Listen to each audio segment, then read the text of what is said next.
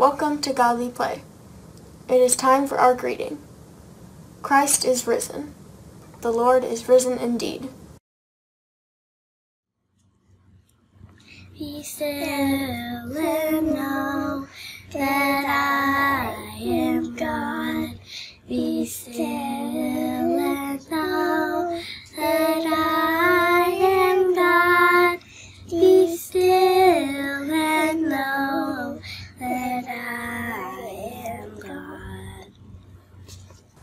Today in Godly Play, we are going to talk about prayer.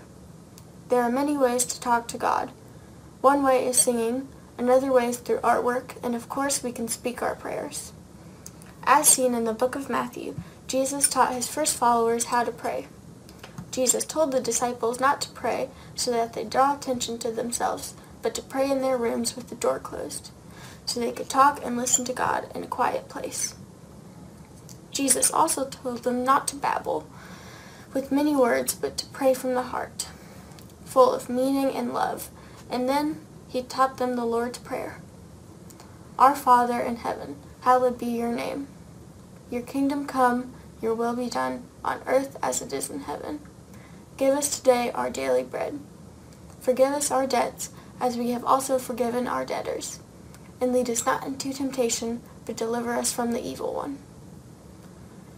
We still pray the same prayer that Jesus taught his disciples over 2,000 years ago.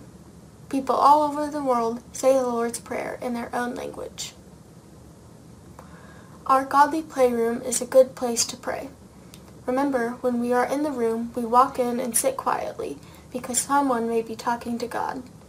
We listen to God through his stories and we think about God as we create our artwork and eat our Jesus feast.